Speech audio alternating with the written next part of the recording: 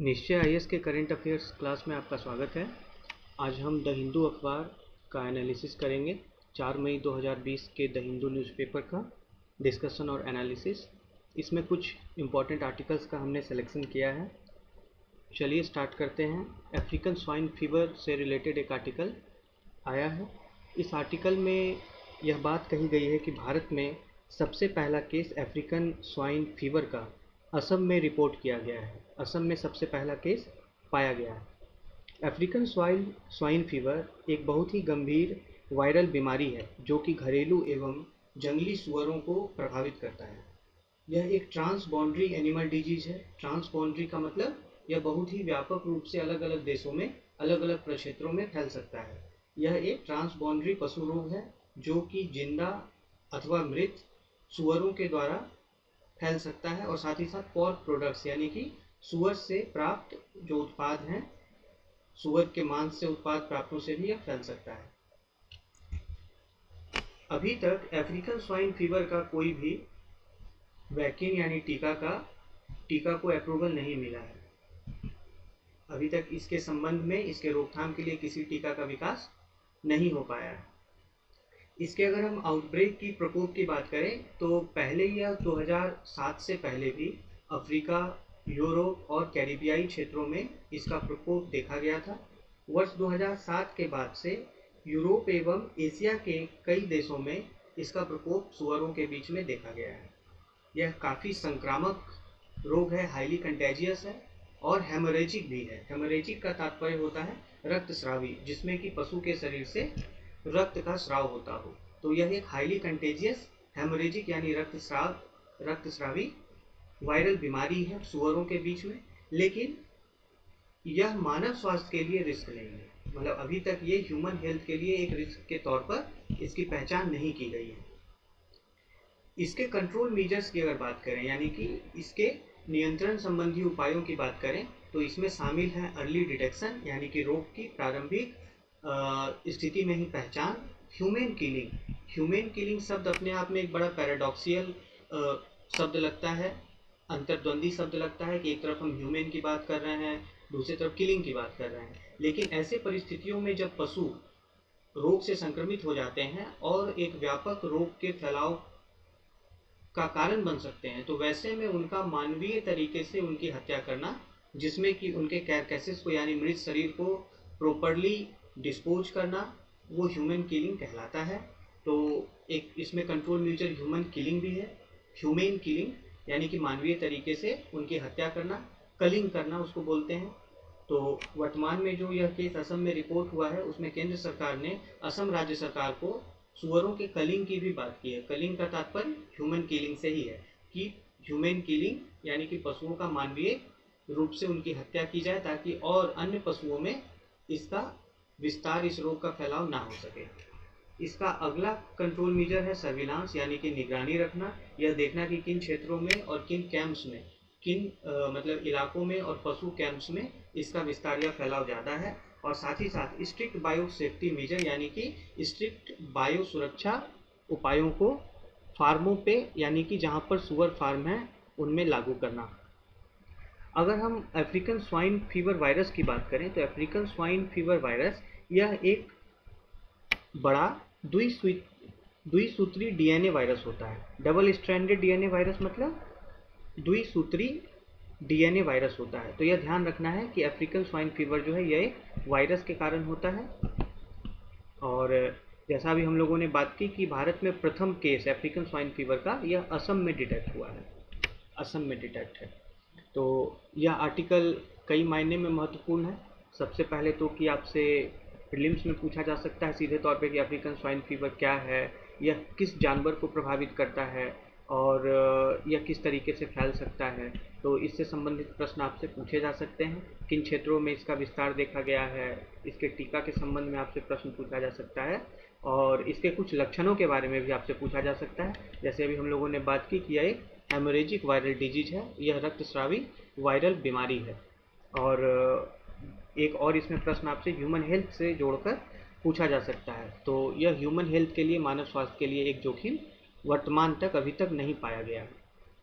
Mains की अगर हम बात करें तो यह पेपर थ्री एनिमल हस्बेंड्री से भारतीय अर्थव्यवस्था जीएस पेपर थ्री से यह जुड़ा हुआ एक टॉपिक है, जिसमें आपको एनिमल हस्बेंड्री के क्षेत्र में आप इसका उपयोग कर सकते हैं कि किस प्रकार से पिगरी में, पिगरी मतलब सुअर पालन में चुनौतियाँ जो जो होती हैं या एनिमल हस्बेंड्री में एपिडेमिक का जो चुनौती है है ना? एनिमल हस्बेंड्री सेक्टर में जो महामारियों की चुनौती है, आप वहाँ पर अफ्रीकन स्वाइन फीवर का उल्लेख कर सकते हैं। तो इस प्रकार से यह आपके पीटी और मेंस दोनों के लिए यह महत्वपूर्ण है। अफ्रीकन स्वाइन फीवर वायरस के बारे में पूछा जा सकता है। यह एक द्विसूत्री डीएनए वायरस है। तो इस जानकारी के साथ आप प्रीलिम्स और मेंस में इस आर्टिकल का उपयोग कर सकते हैं। आगे बढ़ते हैं। एडिटोरियल पेज पर आए एक महत्वपूर्ण आर्टिकल का विस्तार से चर्चा करते हैं। यह भारत के डिजिट सर्विलांस सिस्टम के बारे में यह आर्टिकल है कि हमारा जो रोग निगरानी प्रणाली भारत में है, उसकी स्थिति क्या है और उसे किस प्रकार से और मज़बूत बनाने की रिबूट करने की आवश्यकता है। इसकी विस्तार से चर्चा करते हैं। कोमॉर्बिडिटी के कारण, कोमॉर्बिडिटी का अर्थ होता है सहरुग्नता सहरुग्नता मतलब अगर एक से ज़्यादा जानलेवा व्याधि या रोग किसी व्यक्ति में है तो उसकी मॉर्बिडिटी की चांस जो है, यानी उसके रुग्णता की उसके रुग्णता की प्रत्याशा और अधिक बढ़ जाती है, यानी रुग्णता की स्थिति और अधिक होती है, उसी को कोमॉर्बिडिटी बोलते हैं। तो कोमॉर्बिडिटी के कारण कोविड 19 मामलों में जो मृत्यु का जोखिम है, मृत्यु का रिस्क है, वो बढ़ गया इन्हांस हो गया है। भारत के पास हमें पता है कि एक यंग डेमोग्राफी है। एक यंग पॉपुलेशन है विश्व के और दूसरे, खासकर विकसित देशों की तुलना में। तो इसका हमें लाभ मिलता है क्योंकि एक यंग पॉपुलेशन के पास इम्यूनिटी का, महामारियों से प्रतिरोध का जो उनकी क्षमता होती है, एक युवा जनसंख्या की, वो अधिक होती है, प्रतिरोधक क्षमता। लेकिन यहाँ पर एक समस्या भी है कि हमारे जनसंख्या में, हमारे मतलब युवाओं के बीच भी हेल्थ आउटकम्स जो है पुअर हैं, यानी कि स्वास्थ्य मानकों पर उनका प्रदर्शन उतना उत्साहजनक नहीं है। चाहे हम न्यूट्रिशन की बात करें, पोषण की बात करें, या फिर अगर हम दूसरे हेल्थ पैरामीटर्स की बात करें। आगे हम देखते हैं इस आर्टिकल में यह बताया गया है कि अभी पूरे स्वास्थ्य तंत्र का फोकस कोविड 19 कंट्रोल पे है। ऐसी स्थिति में ओपीडी जैसे रूटीन फ़ंक्शन हॉस्पिटल्स में बहुत बुरी तरह से प्रभावित हैं, यानी कि आउट पेशेंट डिपार्टमेंट्स हॉस्पिटल में बहुत बुरी तरह से प्रभावित है, पूरा स्वास्थ्य तंत्र कोविड 19 के नियंत्रण पर केंद्रित है। और अगर अन्य मामलों को देखा भी जा रहा है तो वैसे में इमरजेंसी केसेस को प्राथमिकता अधिक दी जा रही है। तो इस स्थिति में जो नॉर्मल हेल्थ कॉम्प्लिकेशंस होते हैं, जो स्वास्थ्य चुनौतियाँ होती हैं, पहले से लोग अगर किसी रोग से, समस्या से ग्रस्त हैं तो उनके लिए यह समय और अधिक संकट का है, खासकर गरीबों के लिए। गरीबों के लिए इस तरीके से, क्योंकि उनका सार्वजनिक अस्पतालों तक पहुँच उनके लिए काफ़ी कठिन होता है, और अगर उन्हें कोई प्री एग्जिस्टिंग हेल्थ कॉम्प्लिकेशन है केस है तो उसके कारण उनकी स्वास्थ्य स्थिति और ज़्यादा बुरी हो जाती है। कई ऐसे भी भारत में मेडिकल कंडीशंस हैं जो कि अनआइडेंटिफाइड हैं। अनआइडेंटिफाइड का तात्पर्य यह है कि उनकी पहचान नहीं की गई है कि किस विशिष्ट कारण से लोगों को कोई बीमारी हुई और ना ही उसके टीका विकास या दवा के विकास में जितना कार्य होना चाहिए था वो हो पाया है। तो कई ऐसे एडवर्स मेडिकल कंडीशंस अभी भी पहचान से परे हैं और लोग जो उन बीमारियों से ग्रसित हैं, उनकी भी पहचान पूर्ण रूप से नहीं की जा सकी है। इसका बहुत अच्छा एग्ज़ाम्पल ट्यूबरक्लोसिस है। बहुत सारे लोग अभी भी टीवी निदान कार्यक्रम के नेट से बाहर हैं। यह क्या दर्शाता है? यह यह दर्शाता है कि भारत में डिजिट सर्विलांस सिस्टम जो है, रोग निगरानी तंत्र, वह मज़बूत नहीं है। वह कहीं ना कहीं कमज़ोर है, जिसके कारण कि कई मेडिकल कंडीशंस से ग्रसित लोग अभी भी अनआइडेंटिफाइड हैं, उनकी पहचान नहीं की जा सकी है।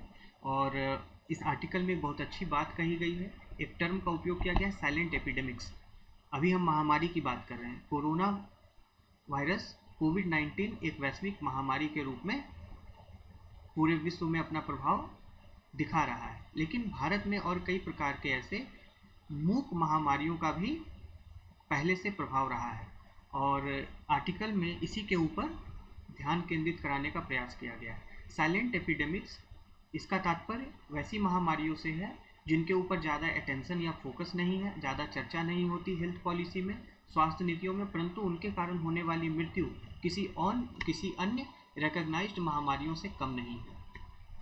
कई ऐसी बीमारियाँ हैं अ नंबर ऑफ़ इलनेसेस ऐसे हैं, जिसमें कि कोई भी निर्णायक कारण की पहचान आज तक नहीं हो पाई है, कि किन पर्टिकुलर कॉजेज के कारण, कारणों के चलते उन बीमारियों का मतलब विस्तार होता है, मनुष्य उन बीमारियों से ग्रस्त होता है।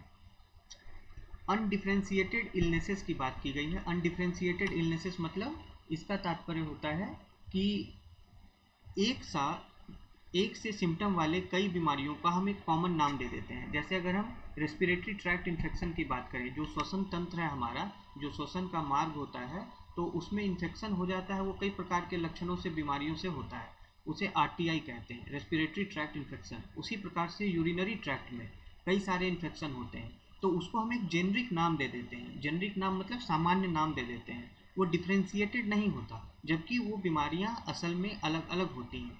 और इन अनडिफ्रेंशिएटेड इलनेसेस के कारण भारत में प्रतिदिन कई लोगों की मृत्यु होती है। उदाहरण के तौर पर आरटीआई यानी कि रेस्पिरेटरी ट्रैक्ट इन्फेक्शन के कारण भारत में प्रतिदिन लगभग 900 लोगों की मृत्यु होती है। 900 people in India per day die due to respiratory tract infection related illnesses tuberculosis की अगर हम बात करें तो इससे लगभग 1400 लोग भारत में प्रतिदिन मृत्यु उनकी हो जाती है।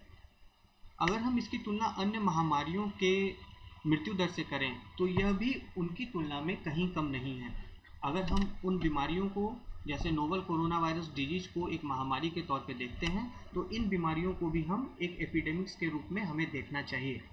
और, क्योंकि ऐसे बीमारियों के ज़्यादातर विक्टिम गरीब लोग होते हैं, उनकी पहुँच स्वास्थ्य तंत्र तक कम होती है रिलेटिवली जैसा कि टीबी के केस में हम सब जानते हैं कि इसे पुअर मैंस डिज़ीज़ कहा जाता है। एक गरीब व्यक्ति का, एक गरीब व्यक्ति का रोग कहा जाता है। तो इस प्रकार के भी एपिडेमिक्स पर हमें ध्यान देने की आवश्यकता है।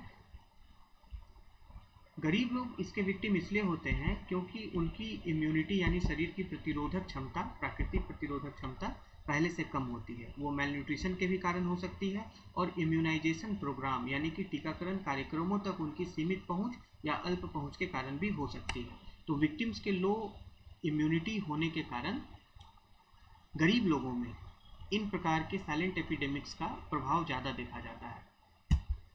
इस आर्टिकल में आगे बताया गया है कि लार्ज नंबर ऑफ़ हॉस्पिटलाइजेशन के कारण लार्ज नंबर ऑफ़ हॉस्पिटलाइजेशन होता है। कई सारे लोगों की मृत्यु हो जाती है। जैसा अभी हम लोगों ने चर्चा किया कि लगभग 1400 cases per day 1400 deaths per day TB के कारण और आरटीआई के कारण रेस्पिरेटरी ट्रैक्ट ट्रैक्ट इन्फेक्शन के कारण प्रतिदिन 900 लोगों की भारत में मृत्यु होती है, जो अपने आप में काफ़ी बड़ा संख्या है। तो ऐसी स्थिति में यह ये इंडिकेट करता है कि यह अघोषित साइलेंट एपिडेमिक है, यानी इस प्रकार के अनडिफ्रेंशिएटेड डिज़ीज़ यानी एक से दिखने वाले रोग, जिसको कि हम एक जनरल क्लास में कैटेगराइज वर्गीकृत कर देते हैं, उस प्रकार के रोग एक अघोषित साइलेंट यानी मूक महामारी के रूप में हमारे समाज में उपस्थित हैं। परंतु अगर एक पक्ष इसका देखें तो यह वैज्ञानिक अनुसंधान का अटेंशन अभी भी, यानी उनका ध्यान अपने तरफ़ अभी भी नहीं खींच पाए हैं। इसका कारण क्या है? आर्टिकल में बताया गया है कि निजी फार्मा कंपनियों के प्रॉफिट मोटिव अप्रोच के कारण यह मतलब कि ज़्यादा अटेंशन इस प्रकार की महामारियों पर, इस प्रकार के रोगों पर नहीं दिया जाता है।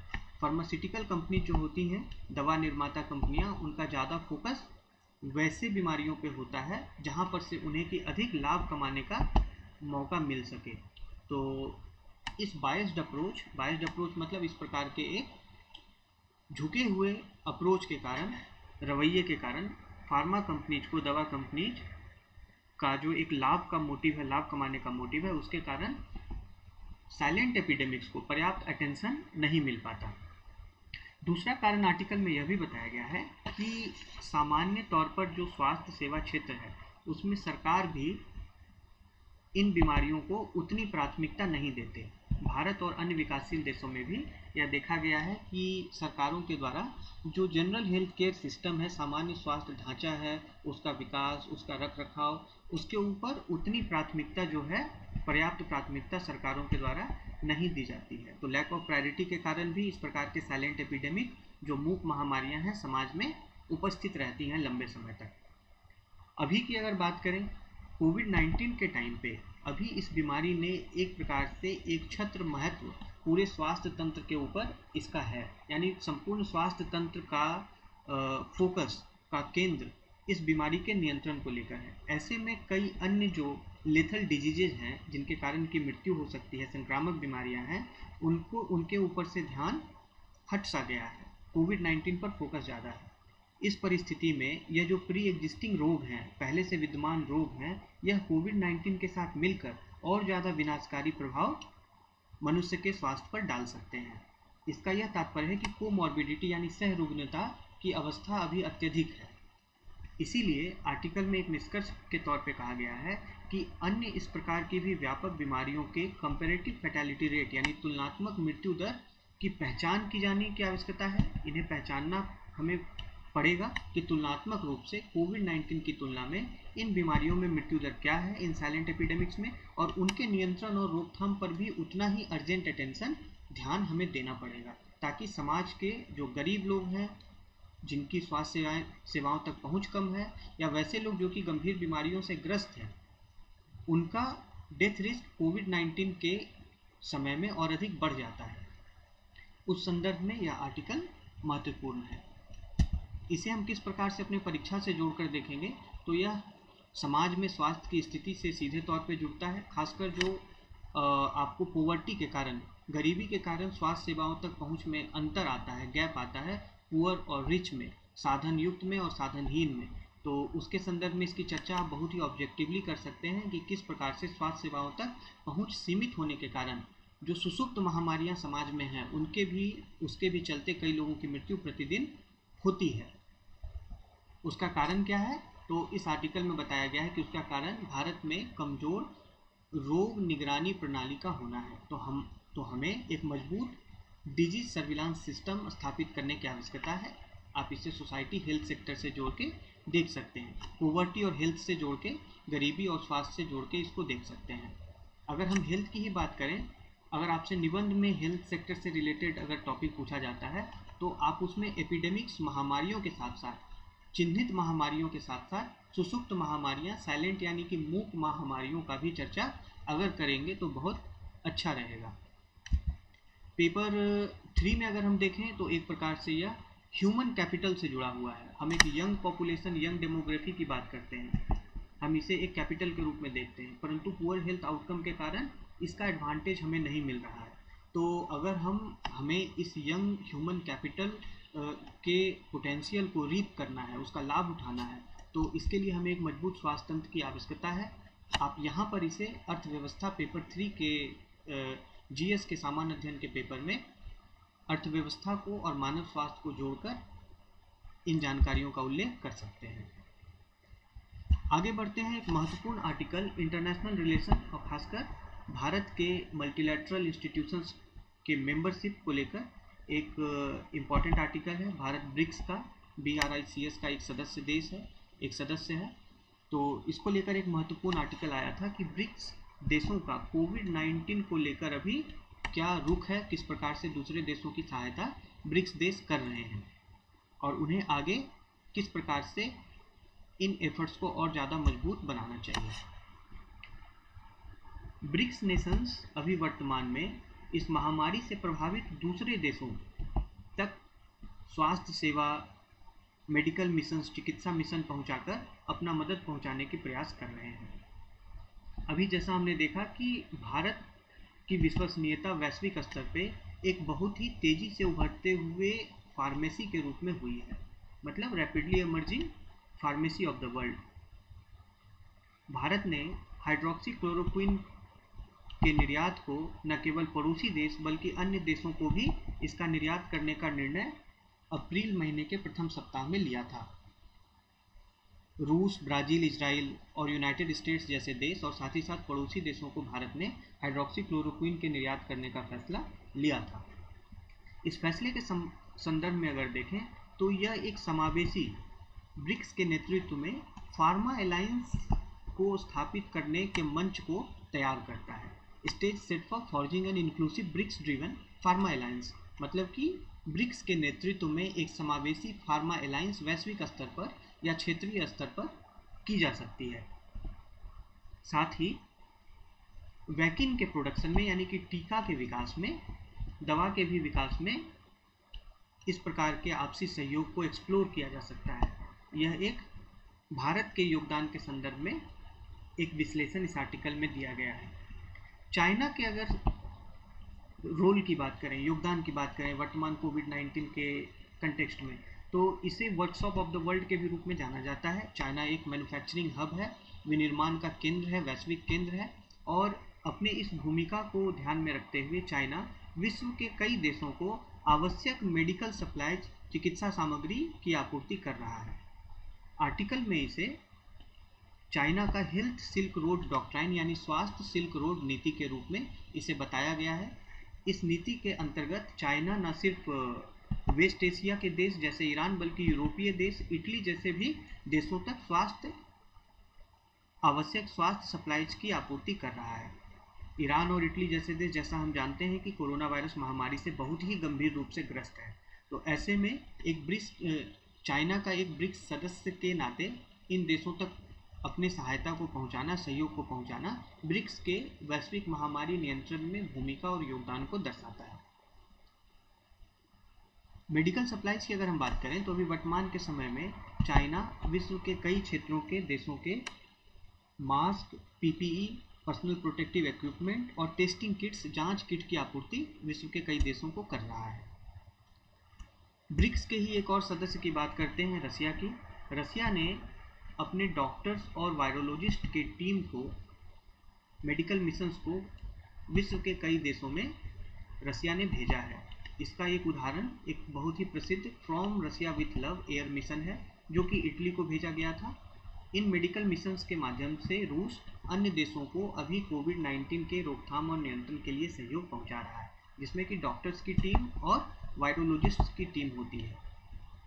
साउथ अफ्रीका की अगर बात करें, जो कि ब्रिक्स का अफ्रीकी महाद्वीप में एक बहुत महत्वपूर्ण सदस्य है और वर्तमान में यह अफ्रीकी संघ, अफ्रीकन यूनियन का भी प्रमुख है, रोटेटिंग हेड है। साउथ अफ्रीका भी वर्तमान में एक पैन अफ्रीकन रिस्पॉन्स यानी कि अखिल अफ्रीकी कोविड 19 रिस्पॉन्स के पॉलिसी फ्रेमिंग में लगा हुआ है, इंगेज्ड है और इस प्रकार से यह अपने महाद्वीप में कोरोना वायरस के नियंत्रण में अपनी भूमिका निभा रहा है। तो हम समझ सकते हैं कि किस प्रकार से ब्रिक्स ब्रिक्स सदस्य देश अपने अपने स्तर पर कोविड 19 के नियंत्रण में अपनी भूमिका निभा रहे हैं। आर्टिकल में ब्राज़ील के रिस्पॉन्स को लेकर थोड़ी निराशा जताई गई है, जिसमें कहा गया है कि इसे अपने रास्ते को और सही करने की आवश्यकता है, कोर्स करेक्शन की आवश्यकता है। ब्राज़ील ने, ब्राज़ील की सरकार ने शुरुआत से ही लॉकडाउन, आइसोलेशन और जाँच को लेकर अपना प्रतिरोध प्रदर्शित किया था, जिसके कारण कि वहाँ पर संक्रमण की संख्या में काफ़ी तेज़ी से इजाफा हुआ। तो ब्राज़ील के रिस्पॉन्स को अगर हम छोड़ दें तो बाकी ब्रिक्स देशों में वैश्विक और क्षेत्रीय स्तर पर अन्य देशों को कोविड 19 के रोकथाम के लिए काफ़ी सहयोग किया गया है। आर्टिकल में जो सुझाव दिए गए हैं आगे के, उसके बारे में हम चर्चा करें कि ब्रिक्स को डब्ल्यूएचओ यानी कि विश्व स्वास्थ्य संगठन, यूरोप और नॉर्थ अमेरिका जैसे क्षेत्रों के साथ अपने प्रयासों को और कोऑर्डिनेट करना चाहिए, उनके साथ साझा सहयोग करना चाहिए। पहले से ही उपस्थित ब्रिक्स देशों के बीच में एक डिजास्टर रिस्पांस मैकेनिज्म है, पहले से उपस्थित है। इसको रीएक्टिवेट करने की आवश्यकता पर बल दिया गया है इस आर्टिकल में।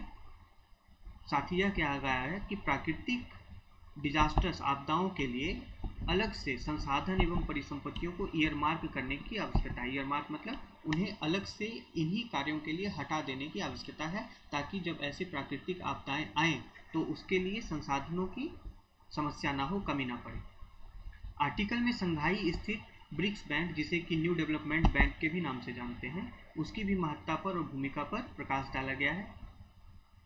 न्यू डेवलपमेंट बैंक के द्वारा वर्तमान में कोविड 19 के नियंत्रण के लिए ब्रिक्स देशों को वित्तीय संसाधन का आवंटन किया गया, जिसमें कि सर्वप्रथम चाइना को एक बिलियन डॉलर की राशि सहयोग के रूप में दी गई है। बाद में अन्य सदस्य देशों को भी राशि एलोकेट की जाएगी। आर्टिकल में यह कहा गया है कि इस प्रकार के ग्रुपिंग्स के लिए, समूहों के लिए एनडीबी का मॉडल एक टेम्पलेट बन सकता है। एक सहयोग मॉडल के रूप में इसे अन्य क्षेत्रों में भी और अन्य ग्रुपिंग्स में भी अपनाया जा सकता है। इस प्रकार से ये ब्रिक्स के महत्व के ऊपर प्रकाश डालने वाला आर्टिकल है। इसका सीधा संबंध आपके पेपर टू से है इंटरनेशनल रिलेशन और मल्टीलेटरल एजेंसी से है, जिसमें कि आप भारत और ब्रिक्स के संबंध ब्रिक्स का एक व्यापक रूप से विश्व के ऊपर प्रभाव, उसकी भूमिका और योगदान के बारे में चर्चा कर सकते हैं। विभिन्न आयामों में जब हम ब्रिक्स की चर्चा करते हैं और इंडिया ब्रिक्स इंगेजमेंट की चर्चा करते हैं तो वहाँ पर पैंडेमिक कंट्रोल और पैंडेमिक कोऑपरेशन यानी महामारी सहयोग में भी आप इन जानकारियों का उपयोग कर सकते हैं।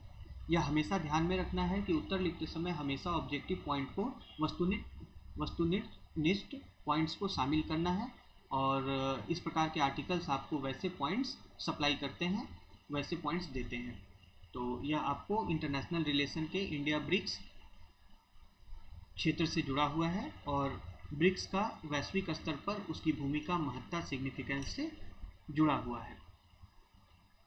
आगे बढ़ें, एक महत्वपूर्ण आर्टिकल शिक्षा क्षेत्र से आया है। शिक्षा क्षेत्र में हायर एजुकेशन में, खासकर उच्च शिक्षा क्षेत्र में किस प्रकार से वर्तमान महामारी के दौर में चुनौतियाँ विकसित हुई हैं, जो कि आने वाले समय में एक अलग शिक्षा नीति की मांग की ओर इशारा करती हैं। और इन चुनौतियों को देखते हुए फोकस एरियाज़ क्या होने चाहिए, उसके बारे में हम विस्तार से चर्चा करते हैं।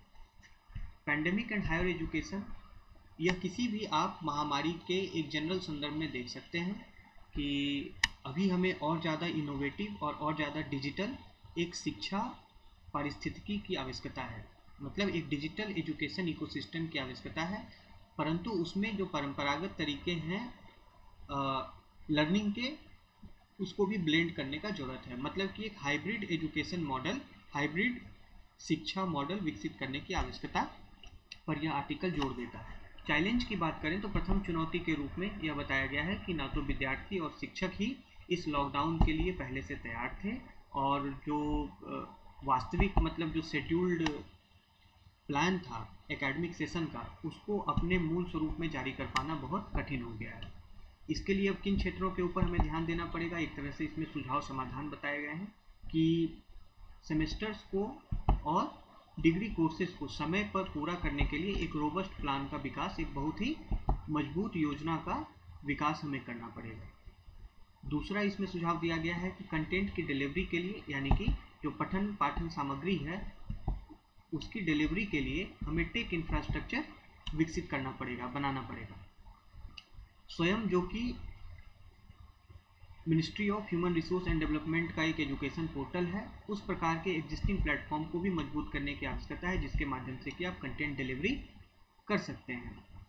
साथ ही निजी क्षेत्र और स्टार्टअप्स को प्रमोट करने की ज़रूरत है, जिसके माध्यम से पर्सनलाइज टीचर लर्निंग प्लेटफॉर्म यानी कि व्यक्तिगत शिक्षण प्लेटफॉर्म्स के विकास का कार्य किया जा सकता है। इसमें एक तरीके से ट्रेडिशनल और ऑनलाइन मेथड दोनों को मिलाकर समाधान ढूँढने की बात की गई है। एक ऐसा मॉडल विकसित किया जाए जिसमें कि ट्रेडिशनल और ऑनलाइन मेथड दोनों शामिल हो। दूसरी चुनौती इसमें बताई गई है कि कंपनियों के द्वारा वर्तमान में जॉब और इंटर और इंटर्नशिप के जो ऑफर्स हैं, उनको रद्द कर दिया गया है क्योंकि कंपनियाँ भी घाटे में चल रही हैं, उनके उत्पादन या उनकी, उनका जो ऑपरेशन है, बंद है। तो इसके कारण उन्होंने जो भी जॉब ऑफर्स दिए या इंटर्नशिप के ऑफर्स दिए, उनके द्वारा रद्द कर दिया गया है। तो यह एक चुनौती अभी के समय में है, क्योंकि शिक्षा का रोज़गार से सीधा संबंध है। अभी के समय में इंटर्नशिप पाना भी, खासकर जूनियर स्टूडेंट्स के लिए, काफ़ी ज़्यादा मुश्किल हो गया है। तो इन चुनौतियों को देखते हुए आर्टिकल में बताया गया है कि हम, हमारे विश्वविद्यालयों और सरकारों को नए प्रोजेक्ट अपॉर्चुनिटीज़ को विकसित करने की आवश्यकता है। इन प्रोजेक्ट अपॉर्चुनिटीज़ में आप इन विद्यार्थियों को इंटर्नशिप ऑफर्स दे सकते हैं। आप इनके लिए पार्ट टाइम जॉब्स की व्यवस्था, रोज़गार की व्यवस्था कर सकते हैं। यह सुझाव भी दिया गया है कि अधिक संख्या में इंक्यूबेशन और इनोवेशन सेंटर स्थापित किए जाएँ विश्वविद्यालयों में ताकि छात्रों को उसमें इनोवेशन के लिए शामिल किया जा सके, उनको सहभागी बनाया जा सके। अनुदान की बात की गई है स्टूडेंट्स के के लिए फेलोशिप्स की बात की गई है, जिससे कि और ज़्यादा वो रिसर्च अंडरटेक कर पाएँ, अनुदान के माध्यम से अपने प्रोजेक्ट्स को और स्टार्टअप आइडियाज़ को आगे बढ़ा पाएँ। साथ ही वैसे स्टार्टअप्स कई ऐसे स्टार्टअप्स हैं जो कि नए हैं। तो स्टार्टअप्स के लिए रिक्रूटमेंट की कैपेसिटी थोड़ी कम होती है। अगर उन्होंने स्टार्टअप्स में जॉब ऑफर्स दिए हैं तो वैसे जॉब ऑफर्स को विलंबित भी किया जा सकता है। उसके लिए एक लचीली नीति बनाने की आवश्यकता है। ठीक है? तो flexible policy for deferred placements for startups ताकि जो जॉब ऑफर्स उन्होंने विलंबित कर दिए हैं, उसके लिए एक लचीली नीति बना दी जाए ताकि बाद के समय में जब यह थोड़ा महामारी का प्रभाव कम होने लगे, अर्थव्यवस्था वापस अपनी पटरी पर आने लगे तो उस समय उन रोज़गार, उन जॉब ऑफर्स को वो पुनः बहाल कर सकें। आगे की चुनौती देखें तो साइकोलॉजिकल डिस्टरबेंस की बात की गई है। मनोवैज्ञानिक अस्थिरता की या डिस्टरबेंस की। अभी के समय में अनिश्चितता को लेकर बहुत तनाव है। लोग अपने भविष्य को लेकर अनिश्चित हैं। अनसर्टनिटी है, जिसके कारण कि स्ट्रेस यानी तनाव विकसित होता है। आर्टिकल में सुझाव दिया गया है कि विश्वविद्यालयों के द्वारा कोर्स क्यूरिकुलम और प्रशिक्षण के माध्यम से सपोर्ट सिस्टम यानी सहयोग प्रणाली विकसित की जाए, स्थापित की जाए, जिससे कि साइकोलॉजिकल डिस्टर्बेंस छात्रों और शिक्षकों के बीच में कम हो। इसके लिए बेहतर काउंसलिंग सुविधा और टीचर्स पेरेंट्स और यूनिवर्सिटीज गवर्नमेंट्स के बीच में आपसी कोलेबोरेशन के आपसी कन्वर्सेशन की भी बात की गई है। आगे बढ़ते हैं। एक और जो चुनौती विकसित हुई है कि अभी अनुसंधान के लिए डेडिकेटेड फंड की कमी है। चाहे वो कोविड नाइन्टीन के लिए अनुसंधान हो, उसके लिए भी डेडिकेटेड फंड नहीं है रिसर्च के लिए। और एक जो दूसरी चुनौती इसमें यह बताई गई है कि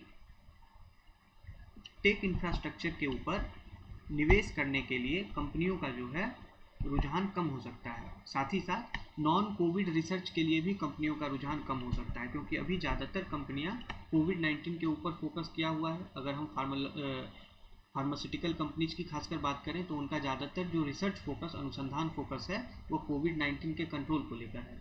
तो जो नॉन कोविड रिसर्च एरियाज़ हैं, उनको भी पर्याप्त फंड अभी के समय मुहैया नहीं हो पा रहे हैं, जो कि एक अपने आप में बड़ी चुनौती है। इसका समाधान यह बताया गया है कि सभी प्रकार के अनुसंधान के लिए पर्याप्त वित्तीय सहयोग सुनिश्चित करना यह बहुत आवश्यक है। अगर हम इस क्षेत्र में उच्च शिक्षा को देखें या हम रोज़गार को भी देखें तो दोनों के संदर्भ में यह बहुत आवश्यक है। इसमें एक बेहतर सुझाव यह दिया गया है कि प्रस्तावित राष्ट्रीय रिसर्च फाउंडेशन, राष्ट्रीय अनुसंधान फाउंडेशन के माध्यम से इन चुनौतियों को हम सुलझा सकते हैं। समाधान? कर सकते हैं।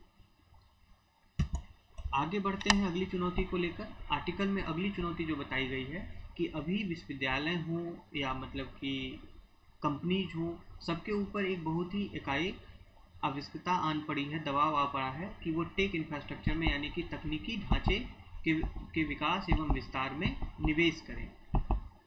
ऐसी परिस्थिति में क्या किया जा सकता है? कई ऐसे निजी विश्वविद्यालय हैं जो नए हैं या कैपिटल हेवी हैं। कैपिटल हेवी का तात्पर्य जिनके ऊपर पहले से पूंजी का दबाव है, संसाधन की कमी है तो वह ओपन सोर्स प्लेटफॉर्म का इस्तेमाल कर सकते हैं। यानी कि मुक्त स्रोत, कई ऐसे प्लेटफॉर्म हैं जो कि फ्री में अवेलेबल होते हैं। उनके माध्यम से वो अपना डिजिटल ट्रांसफॉर्मेशन यानी कि डिजिटल रूपांतरण कर सकते हैं।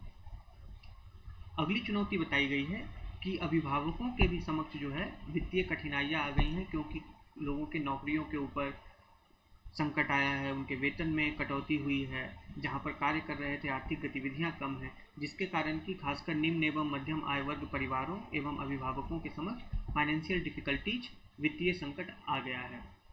साथ ही, अभी के परिस्थिति में स्टूडेंट्स के लिए डिजिटल फैसिलिटीज़ उपलब्ध करवा करवा पाना भी यह एक चुनौती है। वैसे अभिभावकों के लिए जिनके सामने की वित्तीय संकट है।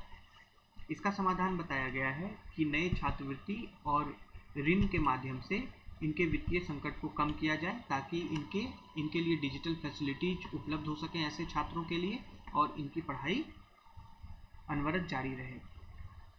आर्टिकल में कुछ सुझाव भी बताए गए हैं कि एक लॉन्ग टर्म में दीर्घ अवधि में किस प्रकार से शिक्षा क्षेत्र, खासकर उच्च शिक्षण क्षेत्र को मज़बूत किया जा सकता है। पहले इसमें बताया गया है कि विश्वविद्यालयों के लिए ऑनलाइन और हाइब्रिड कोर्सेज हाइब्रिड कोर्सेज का तात्पर्य होता है ऑनलाइन प्लस ऑफलाइन। तो ऑनलाइन और हाइब्रिड कोर्सेज के लिए जो मानदंड होते हैं, जो नीतियाँ होती हैं, उसमें थोड़ी छूट दी जाए, उस, उसको रिलैक्स किया जाए। पहला सजेशन ये दिया गया है। दूसरा, यह बताया गया है कि अंतर विषयक अनुसंधान जो होता है इंटरडिसिप्लिनरी रिसर्च यानी कि अलग अलग क्षेत्रों के बीच में जो रिसर्च होता है, उसमें सहयोग को और ज़्यादा बढ़ावा दिया जाए, ताकि अभी जैसे हम लोगों ने बात की कि कोविड नॉन कोविड जो रिसर्च एरियाज़ हैं, उनके लिए एडिक्वेट फंड अवेलेबल नहीं है। तो उस प्रकार की समस्या का निदान हो सके। एक इसमें महत्वपूर्ण सुझाव दिया गया है कि विश्वविद्यालयों में आपदा प्रबंधन अनुसंधान केंद्र की स्थापना की जाए डिजास्टर मैनेजमेंट रिसर्च सेंटर बनाए जाएँ, आपदा प्रबंधन के ऊपर कोर्स मैंडेटरी किया जाए, अनिवार्य किया जाए विश्वविद्यालयों में, ताकि छात्रों में, शिक्षकों में, इस प्रकार के आपदा की स्थिति में शिक्षण प्रक्रिया को और आपदा को लेकर एक सामान्य समझ विकसित हो और इससे आपदा के नियंत्रण में सहयोग मिल पाए। इसमें एक महत्वपूर्ण सुझाव दिया गया है पब्लिक एंड प्राइवेट इन्वेस्टमेंट को और ज़्यादा बढ़ावा देने का, जो कि तत्काल अभी जो वर्तमान में एजुकेशनल क्राइसिस है, जो शैक्षिक संकट उत्पन्न हो गया है, महामारी के कारण, स्कूल और महाविद्यालय, विश्वविद्यालय बंद पड़े हैं इसको एक डिजिटल रूपांतरण, डिजिटल ट्रांसफॉर्मेशन देने के लिए और ज़्यादा लोगों तक शिक्षण की पहुँच बढ़ाने के लिए पब्लिक और प्राइवेट इन्वेस्टमेंट की आवश्यकता है। तो इस आर्टिकल को हम किस रूप से अपने सामान्य अध्ययन के पेपर से जोड़ के देख सकते हैं परीक्षा से जोड़ के देख सकते हैं? सबसे पहले तो कि ये सोसाइटी से जुड़ा हुआ है। समाज में शिक्षण और उसकी महत्ता, खासकर हायर एजुकेशन उससे जुड़ा हुआ है। इसमें आप यह भी देख सकते हैं कि शिक्षा का बदलता स्वरूप, हम अभी ऑनलाइन एजुकेशन की बात कर रहे हैं हाइब्रिड कोर्सेज की बात कर रहे हैं तो उस बदलते स्वरूप का भी आप इसमें विश्लेषण कर अपने उत्तर में उल्लेख कर सकते हैं। एजुकेशन पॉलिसी के अगर संदर्भ में देखें तो किन चुनौतियों के आलोक में क्या क्या समाधान संभव हो सकते हैं? यहाँ पर आपको बिंदुवार तरीके से बहुत अच्छा इस आर्टिकल में बताया गया है। आप इसका उपयोग उन उत्तरों में कर सकते हैं जहाँ उच्च शिक्षा नीति की बात की जा रही हो। ये एक बड़ा कम्प्रीहेंसिव आर्टिकल है जिसमें कि आपको कई क्षेत्र में, मात्र पैंडेमिक ही नहीं पैंडेमिक के अलावा भी जो शैक्षिक, जो सुविधाएँ हैं, जो एजुकेशनल फैसिलिटीज़ का जो एसेस है, उसको कैसे ज़्यादा से ज़्यादा लोगों तक बढ़ाया जा सकता है, उसके बारे में आप इसका उपयोग कर सकते हैं। इसमें साथ ही साथ शिक्षा के क्षेत्र में निवेश की बात की गई है तो अर्थव्यवस्था से भी इसका संबंध होता है कि हमारा कितना जो है इकोनॉमिक रिसोर्स शिक्षा के क्षेत्र में, उच्च शिक्षा के क्षेत्र में जाना चाहिए जो चुनौतियाँ होती हैं और किस प्रकार से हम उनका समाधान कर सकते हैं। इसका संबंध डिजास्टर मैनेजमेंट से भी है, जैसे इसके सजेशंस में रिफ्लेक्ट होता है। डिजास्टर मैनेजमेंट ये आपके पेपर थ्री से जुड़ा हुआ एक भाग है। तो डिजास्टर मैनेजमेंट में आप पैंडेमिक के दौरान होने वाले समस्याओं में एजुकेशनल क्राइसिस की भी चर्चा ज़रूर करेंगे। उससे आपका उत्तर और बेहतर हो जाएगा। और जैसा हम लोगों ने अभी देखा कि पैंडेमिक के कारण एक सर्टन जो है रिसर्च एरिया के ऊपर फोकस होता है। तो ये डिजास्टर मैनेजमेंट के भी संदर्भ में बहुत इंपॉर्टेंट आर्टिकल है, इसमें कुछ सजेशंस हैं। इस प्रकार से आप सामान्य अध्ययन में इसका इस्तेमाल कर सकते हैं। ऐसे की बात करें तो जब एजुकेशन की चर्चा हो तो उसमें क्राइसिस के दौरान संकट के समय भी शिक्षा व्यवस्था अनवरत जारी रहे, उससे जोड़कर आप इसको लिख सकते हैं। पैंडेमिक और महामारी के समय में भी जो शिक्षण प्रक्रिया है, उस, उससे संबंधित कंटेंट भी आप यहाँ से डाल सकते हैं। आगे बढ़ते हैं एक अन्य महत्वपूर्ण आर्टिकल को लेकर, जिसमें कि स्पेन में स्पेन की एक घटना का ज़िक्र किया गया है और उसके माध्यम से बताया गया है कि अभी के टाइम पे किस प्रकार से साइकिलिंग जैसे मतलब कि अल्टरनेटिव पब्लिक मूवमेंट फैसिलिटीज़ को बढ़ावा देने की बात की जा रही है। अभी पब्लिक ट्रांसपोर्टेशन जो सार्वजनिक परिवहन व्यवस्था है, वो दबाव में है, बहुत ज़्यादा कई देशों में बंद पड़ी हुई है। कोरोना वायरस के व्यय के कारण, संक्रमण के व्यय के कारण। इसमें यह बताया गया है कि ट्रेन और बस के में और सुरक्षित भीड़ भाड़ की अवस्था को रोकने के लिए कई देशों में बाइसिकल का यानी साइकिल को प्रोत्साहित किया जा रहा है।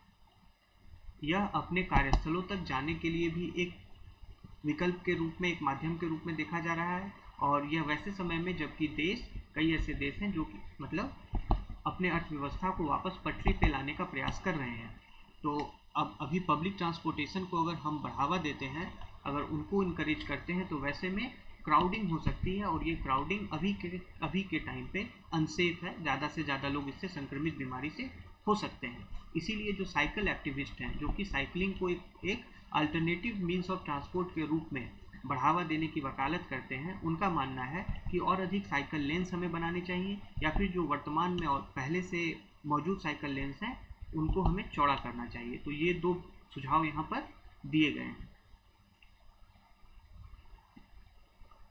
इसमें एक महत्वपूर्ण बात की गई है कि हमारा जो शहरी परिवेश है अर्बन इन्वायरमेंट है, वो अधिक साइकिल फ्रेंडली होना चाहिए, ताकि ज़्यादा से ज़्यादा लोग जो है, वो पब्लिक ट्रांसपोर्ट से साइकिल की तरफ़ ट्रांजिशन करें, उसकी तरफ़ शिफ्ट करें। जिसका कि आपको पर्यावरण का भी लाभ है, ईंधन में भी बचत होता है, प्रदूषण की भी मात्रा कम होती है। अभी जैसे हम देख रहे हैं कि लोग सार्वजनिक परिवहन का इस्तेमाल करने से, उपयोग करने से डर रहे हैं। विश्व में बहुत ऐसे ही, बहुत कम ही शहर ऐसे बचे हैं, जो कि और अधिक कार ट्रैफ़िक को हैंडल कर सकते हैं। यानी कि ज़्यादातर शहरों का जो ट्रैफ़िक का एक सेचुरेशन लेवल है, वो समाप्त हो चुका है। अब अगर अत्यधिक वहाँ पर कार ट्रैफ़िक या पब्लिक ट्रांसपोर्टेशन को बढ़ावा दिया जाए तो वहाँ पर ट्रैफ़िक की समस्या भी बढ़ सकती है, वाहनों के ट्रैफ़िक की समस्या बढ़ सकती है और प्रदूषण की भी समस्या बढ़ सकती है। तो आर्टिकल में कुछ शहरों का उदाहरण, कुछ देशों का उदाहरण दिया गया है, जहाँ पर कि बहुत व्यापक रूप से साइकिल का इस्तेमाल परिवहन के रूप में किया जा रहा है, चाहे वो अपने वर्क प्लेस तक कम्यूट करने के लिए हो एक्सरसाइज के रूप में हो, या फिर नॉर्मल आप अपने कार्य करने के लिए, दैनिक कार्य करने के लिए परिवहन का जो उपयोग करते हैं, उसके तौर पे हो। तो इसमें कोपनहेगन, जो कि डेनमार्क की राजधानी है, उसका उदाहरण दिया गया है, जहाँ पर कि जो डेली कम्यूटर्स हैं, उनमें से आधा से ज़्यादा साइकिलिस्ट हैं। डेली कम्यूटर्स मतलब अपने वर्क प्लेस तक आने जाने वाले लोग, जो कि साइकिल से डेली यात्रा करते हैं। वर्क प्लेस कार्यस्थल के अलावा भी वैसे लोग, जो कि साइकिल से डेली यात्रा करते हैं, वैसे लोगों की संख्या साइकिलिस्ट आधा है वैसे लोगों में। डेली कम्यूटर्स में आधे से अधिक साइकिलिस्ट हैं। नीदरलैंड की अगर हम बात करें तो नीदरलैंड के पास साइकिल लेन्स का एक वास्ट नेटवर्क है। तात्पर्य यह है कि इन देशों में साइकिलिंग को एक वैकल्पिक परिवहन प्रणाली व्यवस्था के रूप में काफ़ी बढ़ावा दिया जा रहा है, उत्साह दिया जा रहा है। इस पर एक इंटरेस्टिंग टर्म का इस्तेमाल आर्टिकल में किया गया, जो है टैक्टिकल अर्बनिज्म आप इसका अर्बन पॉलिसी प्लानिंग में, यानी कि शहरी नीति नियोजन में इस शब्द का इस्तेमाल कर सकते हैं। टैक्टिकल अर्बनिज्म का तात्पर्य होता है सुनियोजित अथवा कुशल नागर रूप। यानी सुनियोजित नगरीय व्यवस्था टैक्टिकल अर्बनिज्म जिसमें कि हम कम लागत वाले बदलाव से लो कॉस्ट चेंजेस से, शहर के व्यवस्था में हम बदलाव लाते हैं, उसको और ज़्यादा पर्यावरण फ्रेंडली इन्वायरमेंट फ्रेंडली बनाते हैं, और ज़्यादा पब्लिक फ्रेंडली बनाते हैं, उसे हम टैक्टिकल अर्बनिज्म बोलते हैं।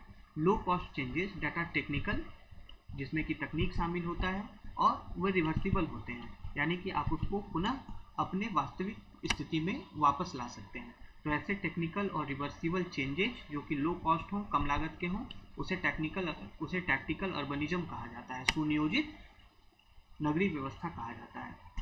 साइकिल फ्रेंडली अप्रोच की बात करें तो यह इन्वायरमेंट के लिए भी लाभकारी है और इसका साथ में आर्थिक भी महत्व है। तो इन दोनों महत्व को देखते हुए हमें अपने नगरीय परिवहन व्यवस्था में साइकिलिंग को एक विकल्प, एक महत्वपूर्ण विकल्प के रूप में हम इसको समझ सकते हैं, जोड़ के देख सकते हैं। इस आर्टिकल का महत्व आपके पेपर वन से है। पेपर वन में समाज अर्बनाइजेशन अर्बनाइजेशन शहरीकरण से आप इसको जोड़कर बता सकते हैं कि शहरीकरण में परिवहन की हम जब बात करते हैं ट्रैफ़िक लोड की बात करते हैं व्हीकल डेंसिटी की बात करते हैं, वाहन घनत्व की बात करते हैं तो वैसे में साइकिल एक बहुत ही पर्यावरण संगत परिवहन विकल्प के रूप में उभरता दिखता है। और इसमें कुछ एग्ज़ाम्पल उदाहरण जो दिए गए हैं, उनको भी आप कोट करके बता सकते हैं कि कैसे विश्व के अन्य देशों में बेस्ट प्रैक्टिसेस के रूप में इसका उपयोग किया जा रहा है। टैक्टिकल अर्बनिज्म की चर्चा कर सकते हैं अर्बनाइजेशन में, शहरीकरण में, कि हमें ऐसे समाधानों के, ऐसे बदलाव की ज़रूरत है जो तकनीकी हों रिवर्सिबल हों और लो कॉस्ट हों, कम लागत के हों। तो टैक्टिकल अर्बनिज्म का एक एग्ज़ाम्पल साइकिल फ्रेंडली सिटीज़ भी हैं। अगर हम अर्बन पॉलिसी मेकिंग की बात करें पेपर टू की बात करें गवर्नेंस की और पॉलिसी मेकिंग की तो वहाँ पर भी आप ट्रांसपोर्टेशन पॉलिसी में, परिवहन नीति में इन बिंदुओं का इस्तेमाल कर सकते हैं अल्टरनेटिव मीन्स ऑफ़ ट्रांसपोर्टेशन के रूप में। पेपर थ्री में अर्थव्यवस्था में भी इसका संबंध आपको